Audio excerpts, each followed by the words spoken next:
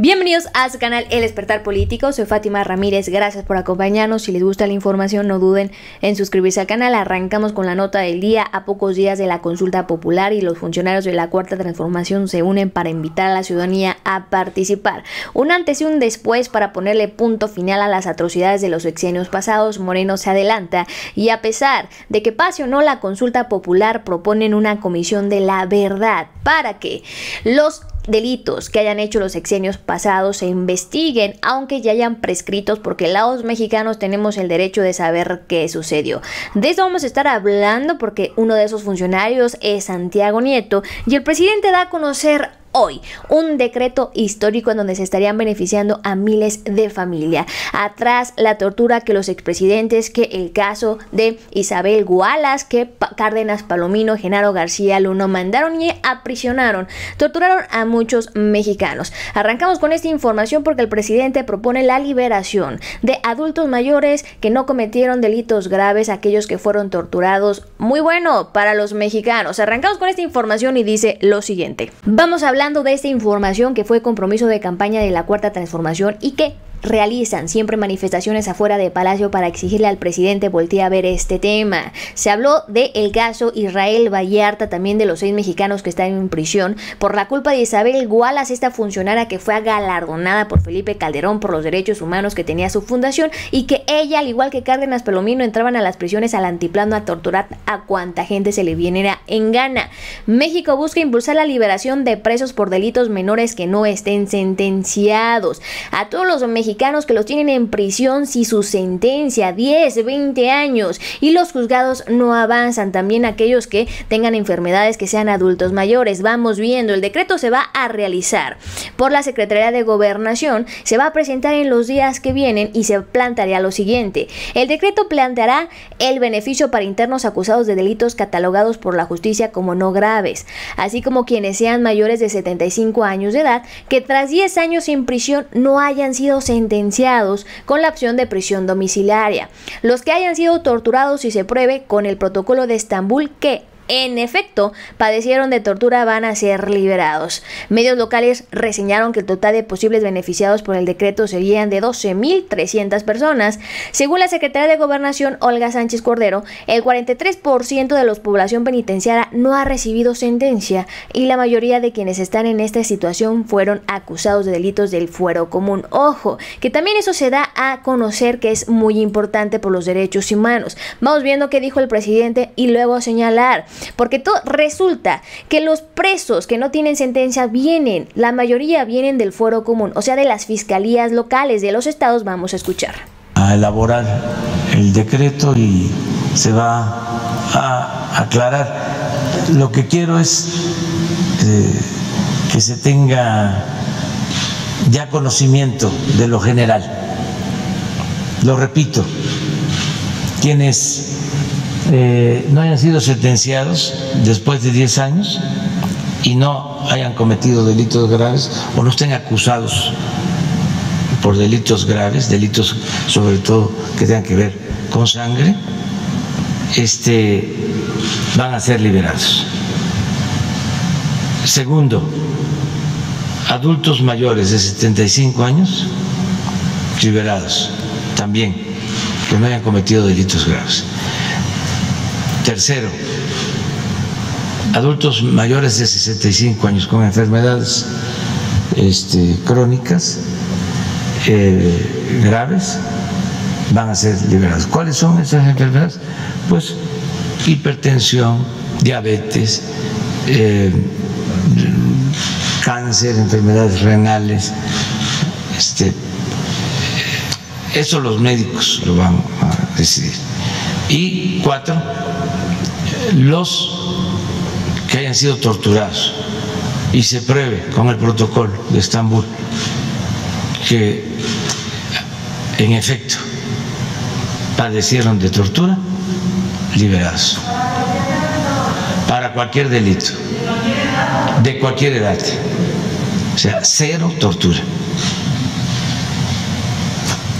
¿Cuántos mexicanos no fueron dañados por Felipe, por Peña, por estarse inventando sus prisioneros para señalar que estaban combatiendo al crimen organizado mientras Cárdenas Palomino, Genaro García Luna hacían lo que querían con los presos, con los grupos del crimen? El presidente le está dando un giro, una vuelta total. Y luego, ¿por qué Felipe Calderón y Vicente Fox critican la consulta popular? Incluso los mexicanos se le fueron a manifestar a la casa, su ranchote de Vicente Fox y obviamente no dio la cara. también organizaciones civiles festejan este decreto del presidente Andrés Manuel y por su parte el presidente da a conocer que los presos que están en prisión sin sentencia provienen del fuero común. Ojo aquí también Arturo Saldívar, que el pueblo se cansa de estar esperando una limpia en el Poder Judicial. Ahí vamos con este tema. Se van a tener que dar los nombres de los jueces que estaban atrasando todos los procesos. Vamos a escuchar lo que dijo el presidente de esto. Es esta. Miren, el fuero común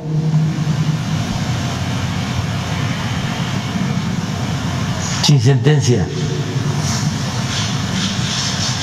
82.189.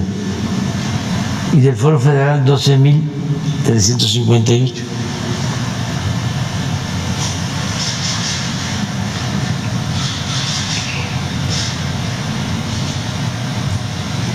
La justicia, como lo establecen los ordenamientos legales, tiene que ser rápida, expedita. ¿Cómo va a estar una persona detenida? Pues ahí lo tienen familia, también le dijo a las autoridades estatales que despierten, porque ellos son las facultados con este tema de que las fiscalías avances, de que las fiscalías investiguen, respeten los derechos humanos y hay muchos presos, ¿no? Familias mexicanos dañados con este tema. Se da a conocer que un juez así liberó con, por sus anchas a Kamel Nasif, que torturó, que mandó a, ahí a torturar a la periodista Cacho por el tema de que estaba haciendo unas investigaciones por no ser funcionario ni poner tortura de Cacho por escrito.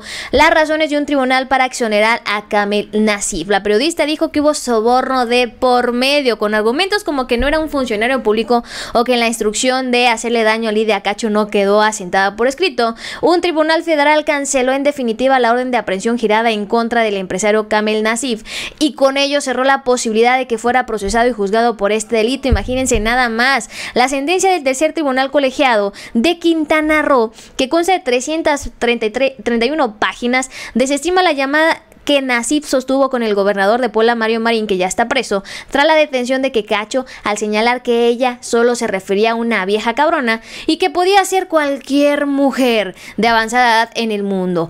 Estos y otros elementos, según la resolución, no permiten que acreditar que el empresario haya instigado, ¿no? Que haya mandado hacerle daño a la periodista. Imagínense nada más. Encinas dijo lo siguiente: indignante los razonamientos otorgados por la magistrada Celina Aide, Avanta Juárez y secretaría en funciones de magistrada Graciela Bonilla para exonerar a Kamel Nasif por la tortura cometida en contra de la periodista. Obviamente, ¿no? Van a hacer algo con esa resolución, pero quiero que escuchen lo como el mismo Alejandro Encina señala la corrupción del poder judicial y que Arturo Saldívar no se haga tonto porque esto le corresponde a él.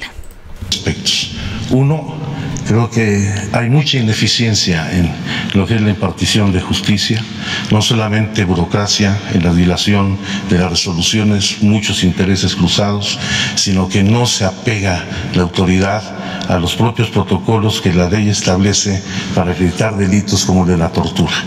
Y peor aún, en los casos donde se acredita, en ningún caso se castiga a los responsables. Por eso, como lo ha señalado el señor presidente, si queremos erradicar la tortura como una práctica regular que durante muchos años existió en nuestro país, no podemos andar con medias tintas ni con duda. Cualquier persona, sea quien sea, y haya sido objeto de tortura, debe ser puesta en libertad de inmediato. Y los torturadores deben de ser castigados. Esta es una, una nueva política que está impulsando desde el inicio este gobierno, en donde no solamente no, no se tortura, el día de hoy por las autoridades federales. Tenemos problemas en algunas entidades, en municipios con altos pero vamos a erradicarla este, profundamente. Muchas gracias. Ahí lo tienen familia, es un gran paso, ninguna autoridad había tenido los calzones, los pantalones para señalar esto, para decir que en el Poder Judicial hay corrupción, se intentaba ocultar toda la impunidad Andrés Manuel está haciendo y ojo, entre más le prometan al pueblo mexicano la cuarta transformación, más nos dan herramientas para estar exigiendo, estar ahí transparentando con el ojo en todos los temas y en todo lo que señalen. Arrancamos con esta información y déjenme en los comentarios si les gustó, si les gustó la información, ya lo saben, suscríbanse al canal, soy Fátima Ramírez y nos vemos hasta la próxima.